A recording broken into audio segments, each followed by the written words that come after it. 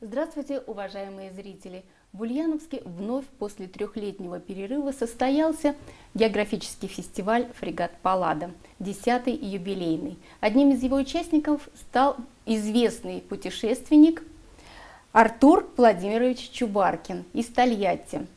Сегодня Артур Владимирович у нас в студии. Здравствуйте, Артур, Артур Добрый день. Очень рада вас видеть, поскольку наша и встреча я, да, очень рад, до потому что ковидного периода была. И мы уже виделись, здесь, да, да. да. Артур Владимирович, я вот хочу раз, начать разговор с вашего самого известного путешествия трансарктического на собачьих упряжках.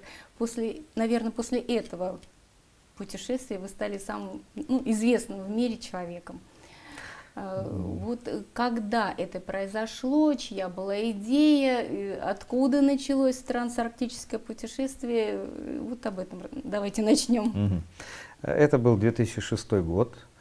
Э, у нас было два э, человека, участника, руководитель экспедиции Георгий Карпенко из подмосковного Пушкина, э, и я вот житель Тольятти, но изначально я, конечно, Э, почти чукча, русский, но родился и вырос на Чукотке, в школе с чукчами, эскимосами, ходил там по тундре, э, в детстве видел белых и бурых медведей, так что вот отец полярный вертолетчик, э, то есть это тундра, лениводы, вот оттуда все началось. Да, то есть, то есть это ваша идея была? Да, да, да это, поэтому Трансарктика это вот оттуда, из, из детства.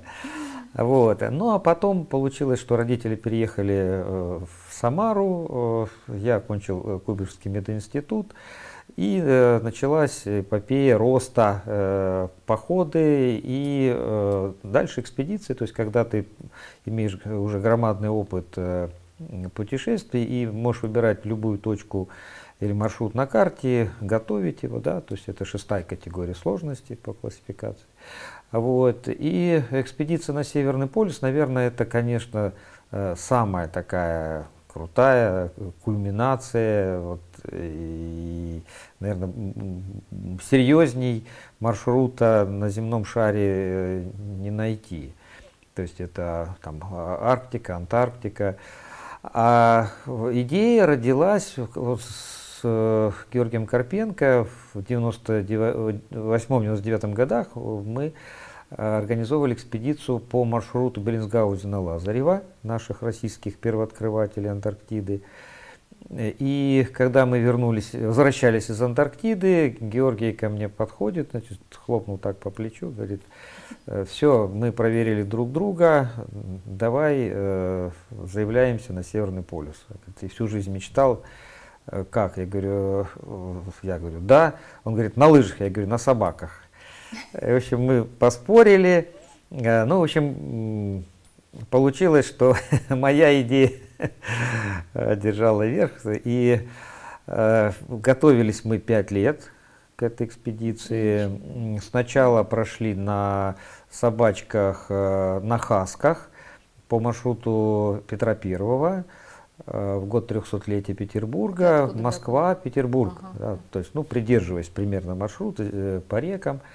Вот, э, но поняли, что вот этот, этот самый сложный маршрут северный да, до полюса, э, у нас была идея автономное достижение, да, то есть не просто, чтобы тебе там через пять дней подбрасывали вертолетом. Э, ну, то есть вам да? никто ничего не никто подбрасывал, ничего вы не... взяли, поехали. Да, да, то есть как это вот в прошлые века, как угу. вот те первооткрыватели потому что, ну, можно, есть сейчас туристические варианты, можно заплатить там энную да, сумму. Э, к тебе там приставят инструктора, на вертолете тебя привезли, ты походил вокруг полюса, выпил шампанского, получил диплом, да, но это, конечно, не то.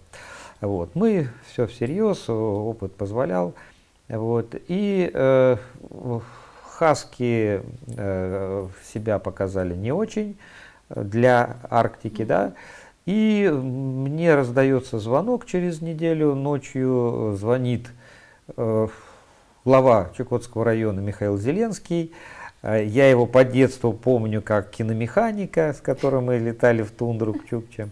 И он говорит, мы тебя видели там в передаче «Время», тебя показали, ты собираешься на полюс, прилетай за собаками чукотскими чукотскими. А там какая порода? А, она так называется, чукотская да? издовая. Да? Mm-hmm. Это а, а, аборигенная собака, то есть она живет не в доме, она живет в снегу, э, там, на угольном шлаке, э, то есть она, если э, заработала, ее взяли куда-то в тундру на охоту, ее кормят очень хорошо. Если Э, просто она лежала день, то она может голодной быть. То есть это очень суровые условия. Да? То есть это собака, которая э, живет на побережье Ледовитого океана, да? то есть это северное там побережье Чукотки. кстати, как Да, и там лед, э, там э, торошение, там э, вода, трещины. То есть собака, э, ну вот там века, тысячелетиями mm-hmm. она ходит по льду. Она не боится треска, не боится белого медведя. Mm. -hmm. Вот. И нас забросили вертолетом в Чукотское э, село Нешкан, э, где живет 700 чукчей и 300 собак. Вот такое царство, я бы сказал, э, собачье, да, то есть везде собаки. Вот. И мы жили, сформировали упряжку, прошли тренировочный маршрут, маршрут по Чукотке, mm я реализовал свою детскую мечту э, на своей упряжке прийти в свой родной поселок Лаврентия, где я вырос. Бухта Лаврентия, это 80 километров от Берингового пролива. Вот. Потом был э, тренировочный маршрут по Таймыру в полярную ночь. С теми собаками. С теми же собаками, да. да. И э, в 2006 мы стартовали с мыса Арктической Северной Земли. 57 дней вдвоем, 12 чукотских ездовых. Одна собачка у нас была таймырская, она э, погибла. Вот. Но все чукотские ездовые живы-здоровы, э, дошли с нами э, до, до полюса. Там мы водрузили флаг России, там Самарской губернии, Тольятти. Вот, э, и стали первыми, кто автономно на собаках достиг Северного полюса. А потом вы вернулись уже в Канаду? А, нет, нет а, мы должны были идти в Канаду дальше. То есть угу. мы вообще заявлялись на два достижения. Это вот Северный полюс. Второе, мы должны были на полюсе получить подброс корма для собак и идти в Канаду. То есть пересечение Северно-Ледовитого океана. Угу. Но значит, здесь включилась политика, и э, за там, 4 дня до полюса, мы звоним нашим норвежским партнерам, да, есть э, э, ну, определенные арктические законы, да, э, современные, что зона ответственности от Северной Земли с нашей стороны до Северного полюса обеспечивается российской стороной. То есть, если что-то случается, стоят два вертолета сначала на северной земле, потом э, два вертолета нас страхуют с ледового аэродрома Борнео, который на паковом льду разворачивался раньше каждый год, Института Арктики Антарктики. Угу. И э, то есть это обеспечение безопасности, иначе нас не забросят. А вот дальше Северного полюса, значит, 3 градуса, это 333 километра, это зона ответственности Норвегии, 4 градуса, следующие до Земли, ответственность Канады. И получается, эта страна должна э, точно так же держать вертолеты, точно так же забросить на лед горючее, чтобы там, там пошагово там, добраться до нас, если вдруг что-то случится. Вот. Но э, мы подходим к полюсу, звоним по спутниковому телефону в Норвегию, говорим, все у нас хорошо. Мы подходим, э, принимайте нас вот такого-то числа, то есть, ну вот мы будем да, э, теперь с вами связываться, вы нас видите, что ли, так, да, то есть подстраховывайте. Они говорят, э, нет, у нас нет такой возможности. Ну, мы, почему? Да, мы как? У нас договор, да. мы э, по договору оплатили 50% суммы, там да. хорошие очень. Вот. Нет, вот у нас нет такой возможности. Э, вы, э, у вас есть партнеры канадские, э, обращайтесь к ним. Ну, то есть это вот, ну, такая подножка очень серьезная. Мы в шоке.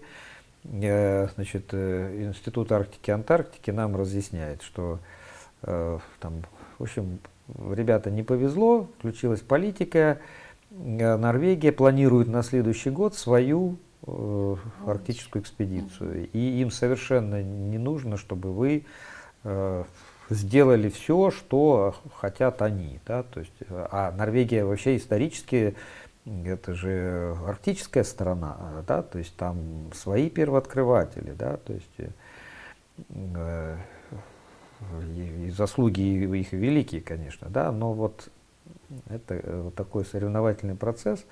И получается, что э, наш институт Арктики, значит, э, нас не пускает, потому что э, мы говорим, мы, ж, мы пройдем эти 300 километров ну, без поддержки, и нас Канада там встретит, и все будет нормально. Нет, если все будет хорошо, да, а, а вдруг что-то не так, э, ну, мы не сможем смотреть там, в глаза вашим родным, вот если что случится. И вот и получается, что мы неожиданно вдруг э, на полюсе понимаем, что все мы сделали. вот. Э, и прилетает с Борнео э, вертолет, забирает нас. Мы еще где-то двое суток ждали вертолета, пурга была. И через ледовый аэродром Борнео, Шпицберген, Москва, то есть через несколько дней мы дома. Вот, и э, я просто помню, как э, я об этом говорил своей жене по телефону, говорил Марина. Э, через, через три дня мы будем дома. Она не вот. поверила. Она говорит, я об этом молилась. А, вот чего. Вот почему. Я говорю, как? Зачем? Она говорит, меня Бог услышал. Переживал. А вот жены, конечно, э, ну это наши мужские амбиции, да, то есть.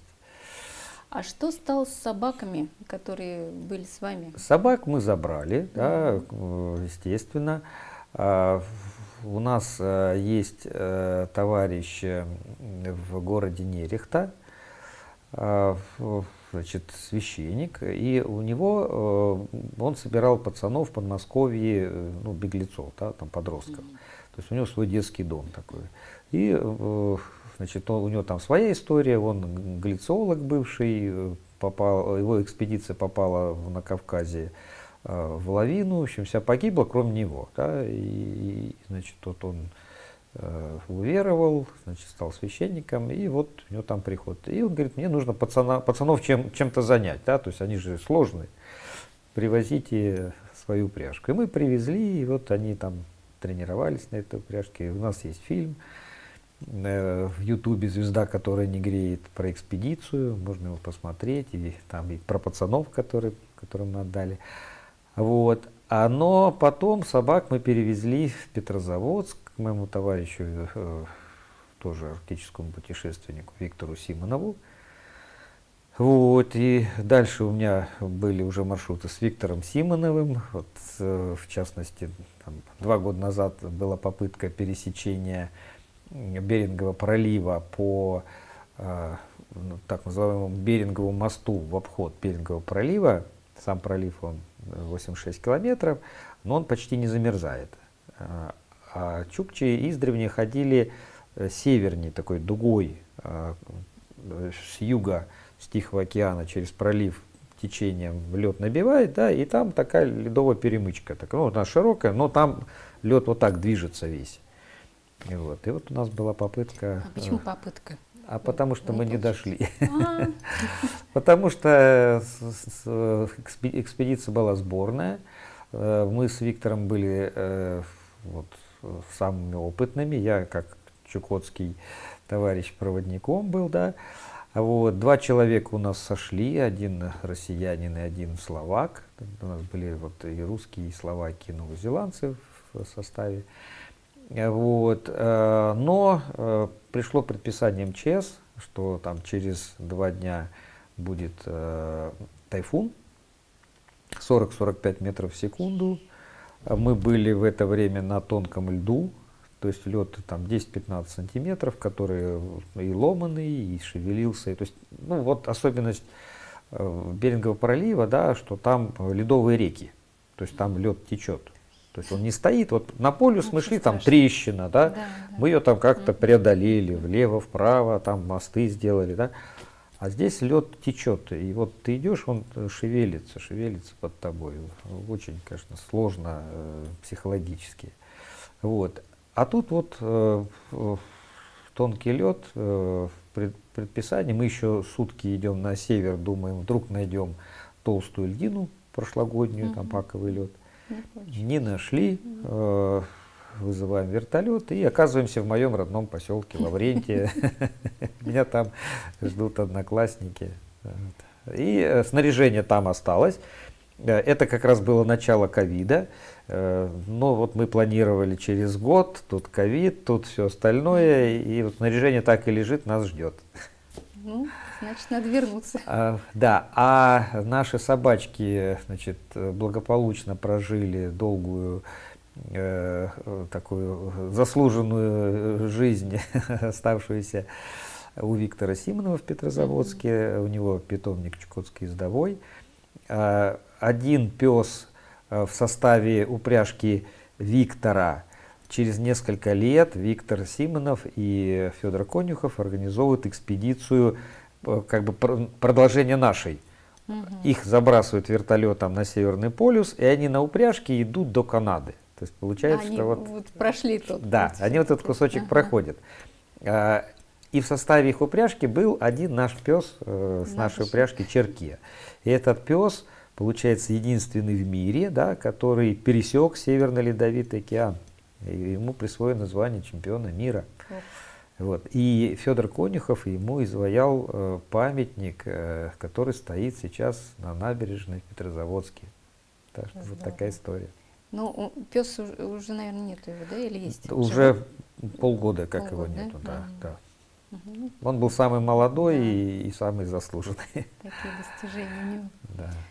Э, вот вы все говорите, вот вернулся в родной поселок, вот еще раз вернулся в родной поселок. То есть вы часто бываете на Чукотке, да?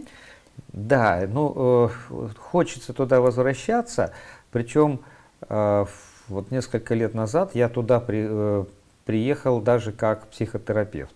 Да, Получилось... вы по образованию психотерапевт. Да, да, да. да. Угу. Я очень хорошо знаю ну, психологию Чукчи, они меня тоже знают, то есть в разных поселках разбросаны мои одноклассники. Вот. И был э, такой период, когда вспышка суицидов среди подростков была. Вот. И ко мне обратилась э, руководитель Красного Креста Чукотки, это э, сестра Абрамовича, Брамович много лет помогает ей, то есть ну, Красному Кресту, и доручено. Вот. Ну и зная, что я с Чукотки, психотерапевт, э, она меня пригласила, я несколько месяцев работал психотерапевтом. А в чем причина там была? Э, ну, там много причин. Э, ну вот как раз губернатор Чукотки Копин попросил меня проанализировать ситуацию. Э, вот особенно всплеск был в одном поселке, где я больше всего работал. Я работал с детьми, со школьниками, там, с подростками, с родителями, с, просто со взрослыми э, там, по, с проблемой алкоголизма, с учителями. То есть вот, ну, круглосуточно жил в, фельдшерском пункте, в больничной палатке, э, в комнате, да, там на железной кроватке хирургической.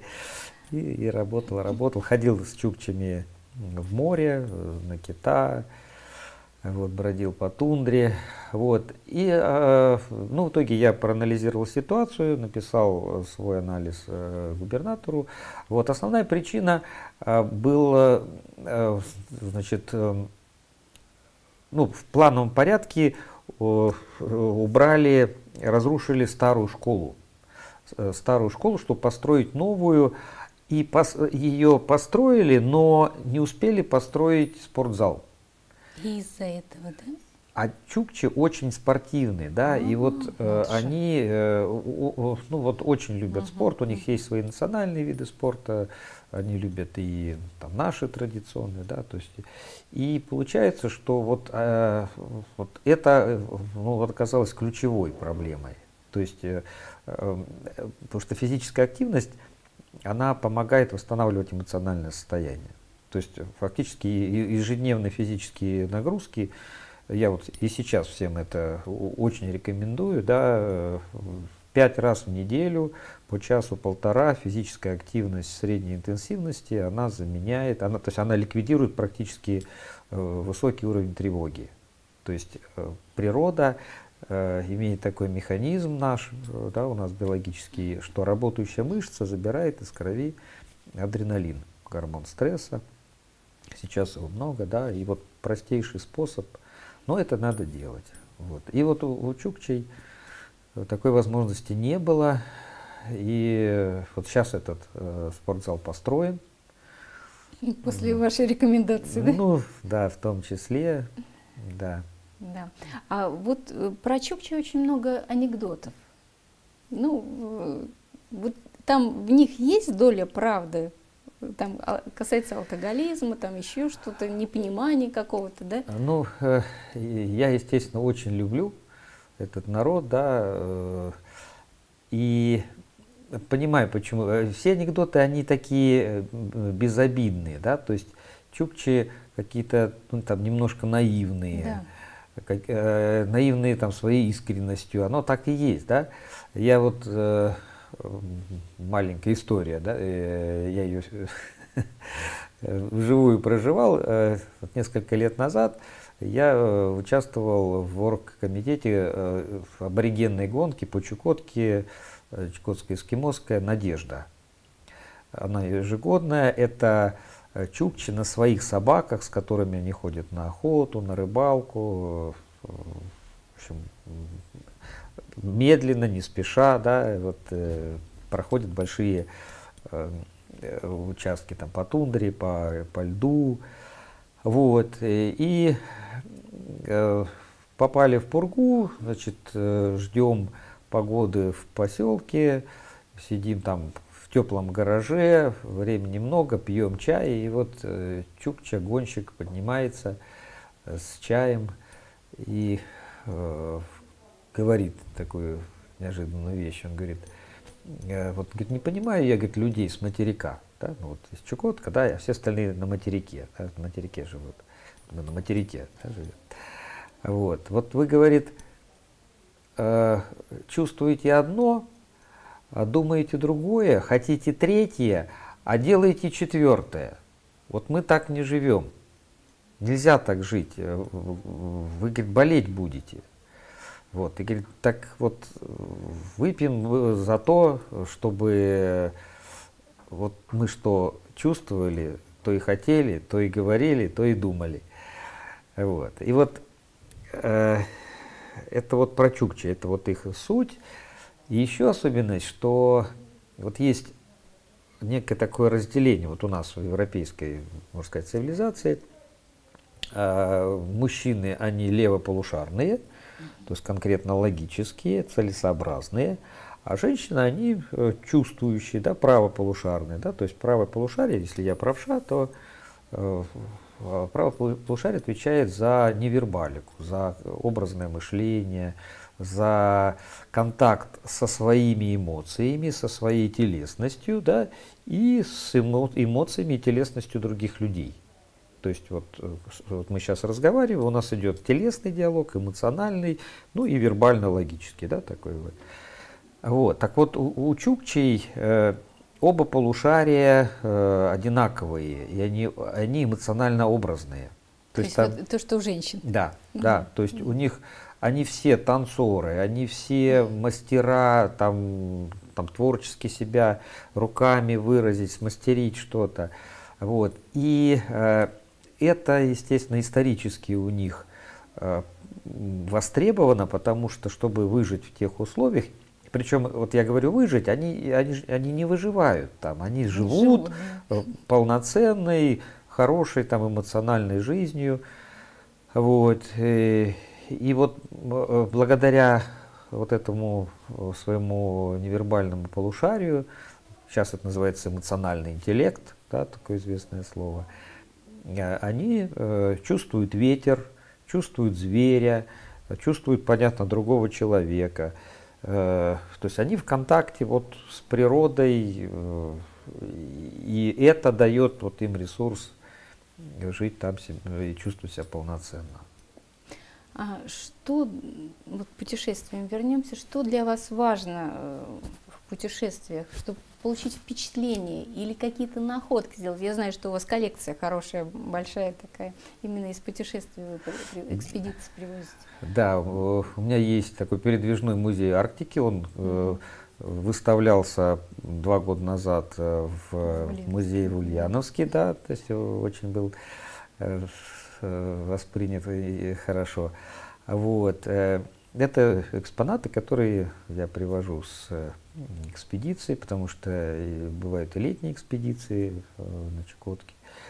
Как, к примеру, вот буквально там несколько лет назад, вот как раз когда я по линии Красного Креста был, mm-hmm. и вот я с чукчами, потому что Э, с ними я как психотерапевт работал не в кабинете вот так ну, сидел, да. да, там в белом халате, да, то есть я с ними ходил везде и с ними общался везде и э, там, там диагностировал вот просто в, в обиходе, да, и говорил, то есть там лечил, и там мы с ними медитировали э, в тундре, да, и образы были. Здесь, там, к примеру, если мы медитируем, у нас там образ там поля, Э, там лес, Волга, да, а, а там другие образы, то есть я им давал другие образы. Mm-hmm. Вот. И э, мы там гонимся за китом, киты уходят, э, куда-то исчезли, их нету, да, и рядом оказывается островок.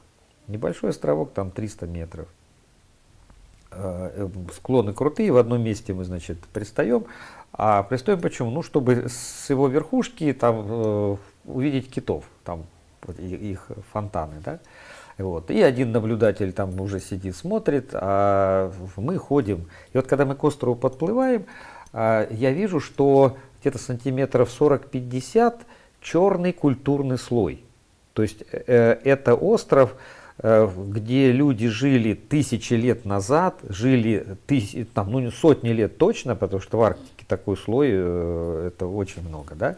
Этот остров Значит, потом выясняется, что он был соединен с землей, был перешеек, его когда-то там размыло, э, там десятки лет назад, но старики помнят и рассказывают, что здесь был перешеек. Да?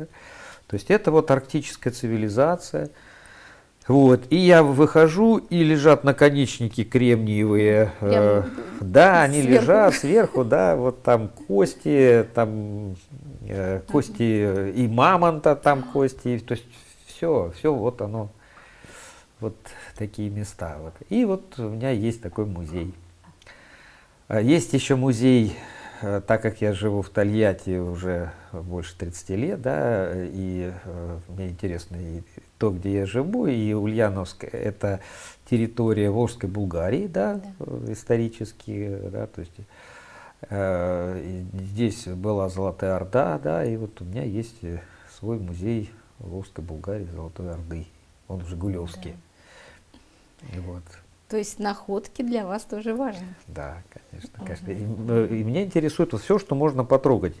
То есть вот э, э, находишь какой-то предмет, и э, вот я ощущаю, э, что его трогали там руки, э, там наконечник ли это какой-то, да, или там плуг, там накладка железная на плуг. То есть э, это вот связь много, связь много э, через, через да, историю, поколений. через, да, mm-hmm. через mm-hmm. века. Планируете какие-нибудь путешествия ну, в этом, может, были летом какие-то путешествия, экспедиции? А, летом была экспедиция э, хребет Джугджур. Это, Это э, Охотское море, да, э, ну, западное север, побережье. Север, да, да, да, да. да. Это а, район города, ой, поселка Охотск. Э, очень трудно организовывалась экспедиция, потому что ну, район такой труднодоступный, с авиацией сложно. Э, э, значит, и маршрут был по, опять же, по маршруту первопроходца Ивана Москвитина. Это 1639 год. Это человек, который был в составе отряда казаков, да, руководитель его, атаман, да, было потом присвоено звание статус. Э, и они э, по приказу царя э, значит, из Томска через Якутск по реке Лене, по реке Майе поднялись против течения, волокли струги, переволокли их через хребет Джугджур, вышли на речку Улья, а речка Улья впадает уже в Охотское море. И вот, вот этот кусочек по Улье мы сплавились ну, можно сказать, вместе с Иваном Москвитиным. То есть э, видели, э, просто за это время мало что изменилось. Ну, в тех районах. Да, да, да. да. И, и в Кровеческом музее мы потом пришли, а там пушечка, там, значит, ружья шомпольные, вот, точнее, пищали. Вот. И, и с этой же речки, да, то есть его же, да, то есть и руки их держали, да, там. Вот, это то, что было в этом году. А, а так, во-первых, э, так как мы э, не смогли из-за тайфуна пересечь ну, Берингов да, пролив, э, то э, наше снаряжение лежит в Лавренте, да, то есть оно нас ждет, и мы просто вот э, вынуждены вот из-за всех там э, событий в мире, да, ну, чуть-чуть там отодвигаем дату, на, на готове. Да, уже. все на готове, угу. да. И сейчас Виктор Симонов э, вот, вчера улетел на Чукотку, э, там, в очередной раз собирать там упряжку собак, э, вот новую. Э, ну, это вот это в планах, да. Ну, Спасибо, Поживем, Артур увидим. Владимирович, спасибо, что приехали, пришли к нам. Успехов вам! Да, в вашем до, деле. До следующей встречи да, до следующей в Ульяновске. Встречи. Спасибо, до свидания. Спасибо.